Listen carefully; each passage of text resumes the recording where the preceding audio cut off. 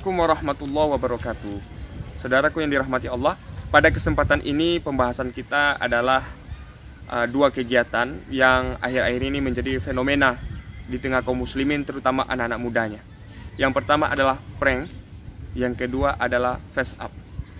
Nah, prank ini berkembang ya di Indonesia itu sejak awal tahun 90-an jika Anda anak-anak yang lahir di tahun 70-an, 80-an, Anda akan tahu bahwa di tahun 90-an ada acara televisi yang cukup terkenal seperti Spontan. Nah, acara ini isinya adalah prank di mana pembawa acaranya uh, ngerjain orang yang sedang lewat. Tujuannya adalah untuk membuat terkejut, untuk membuat takut, untuk membuat objeknya menjerit ketakutan dan mereka tertawa dianggap itu sebagai sesuatu lelucon yang sangat lucu. Nah, prank ini sendiri dilarang oleh Rasulullah SAW dan prank ini sudah terjadi dulu di masa Rasulullah SAW. Kalau sekarang orang memakai media sosial seperti Facebook, Instagram, YouTube, tetapi dulu prank ini dilakukan oleh masyarakat yang hidup di masa Rasulullah SAW. Ada sebuah kisah yaitu seorang sahabat Rasulullah yang bernama Abdurrahman bin Abu Layla. Suatu ketika Abdurrahman bin Abu Layla ini melakukan perjalanan bersama beberapa orang rekannya. Hingga malam hari ketika ia istirahat tertidur, kawan-kawan rekan-rekan dari Abdurrahman bin Abu Layla ngerjainnya ia melakukan prank terhadap Abdurrahman. Ketika Abdurrahman sedang tidur, mereka angkat Abdurrahman, lalu mereka pindahkan tubuh Abdurrahman ke atas bukit. Ketika sudah sampai ke atas bukit, Abdurrahman terbangun. Ia terkejut. Ia khawatir. Dan ia ketakutan. Maka rekan-rekannya yang melihat saat itu tertawa. Karena melihat ekspresi Abdurrahman yang lucu, mereka semua tertawa hingga akhirnya sampailah berita ini ke telinga Rasulullah Shallallahu Alaihi Wasallam hingga Rasulullah mengomentari apa yang dilakukan oleh rekan-rekan Abdurrahman bin Abu Layla. Apa kata Rasulullah? La yuhillu li muslimin ayyuwari'a musliman. Tidak halal bagi seorang muslim menakut-nakuti muslim yang lain. Masya Allah. Jadi prank ngerjain orang lain menjadikan orang lain sebagai objek lucu-lucuan itu dilarang oleh Rasulullah Shallallahu Alaihi Wasallam. Anda bisa lihat saat ini lagi trend, lagi hits di YouTube, di Instagram, Facebook, video-video yang dibuat oleh anak-anak muda Muslim, yang mana dalam video itu mereka uh, mengerjain orang lain. Misalnya membuat video dia memakai pakaian pocong di malam hari. Lalu tiba-tiba ia muncul di dekat orang yang sedang naik motor yang sedang berkendaraan hingga orang-orang tersebut ketakutan. Dan mereka tertawa melihat ekspresi ketakutan ini. Tentu saja perbuatan seperti ini dilarang oleh Rasulullah SAW atau ada yang lebih merusak? Ketika suami istri membuat video prank istri ngerjain suaminya melalui video prank mengajak berhubungan suami istri dengan video yang disembunyikannya ini tentu saja tidak hanya Eh, merugikan satu sama lain tetapi sudah sampai pada tahap merusak pemikiran anak-anak muda atau merusak pemikiran orang-orang yang menonton video-video tersebut. Nah, prank sendiri dilarang oleh Islam karena selain tidak berfaedah, perbuatan ini lebih banyak mudarat daripada manfaatnya.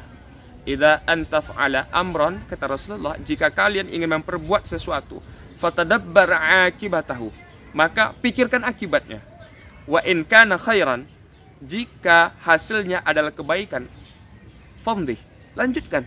Wa in kana syarran jika hasilnya adalah keburukan fantahi maka hentikanlah.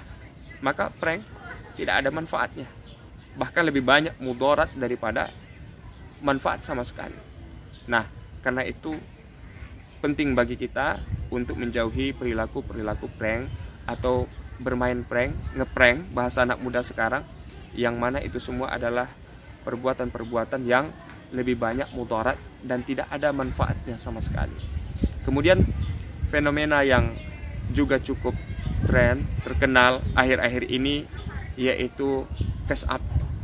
Face up ini adalah aplikasi yang menyediakan edit wajah yang mana kalau wajah Anda muda itu memakai aplikasi face up itu bisa dibuat menjadi tua, keriput. Nah, apa yang salah di sini? Mungkin Anda bertanya, kalau saya seorang perempuan Ustaz, lalu saya membuat memasang foto hasil aplikasi face up ikut age challenge apa yang salah? Toh foto saya dibuat jelek tua di situ apa yang salah? Permasalahannya adalah bukan halal atau haram tetapi Islam sudah mengingatkan kepada kita Rasulullah Shallallahu Alaihi Wasallam menyampaikan dalam hadisnya tentang permasalahan ini dalam sebuah hadis yang diriwayatkan oleh Imam At-Tirmizi dan Ibnu Majah apa kata Rasulullah min husnil islami mar'i tarkuhu ma tanda sudah bagusnya keislaman seseorang adalah ia meninggalkan hal-hal yang tidak bermanfaat, hal-hal yang tidak berfaedah. Ingat bahwa tanda sudah bagusnya keislaman seseorang bukan meninggalkan perbuatan yang haram, bukan meninggalkan minuman keras, bukan meninggalkan judi, bukan meninggalkan zina. Itu adalah standar wajib yang harus ditinggalkan oleh kaum muslimin semuanya. Tetapi tanda sudah bagusnya keislaman seseorang adalah meninggalkan perkataan dan perbuatan yang tidak ada faedah. Face up. Apa faedahnya? Apa kebaikannya di situ? Apa yang bisa kita tampilkan?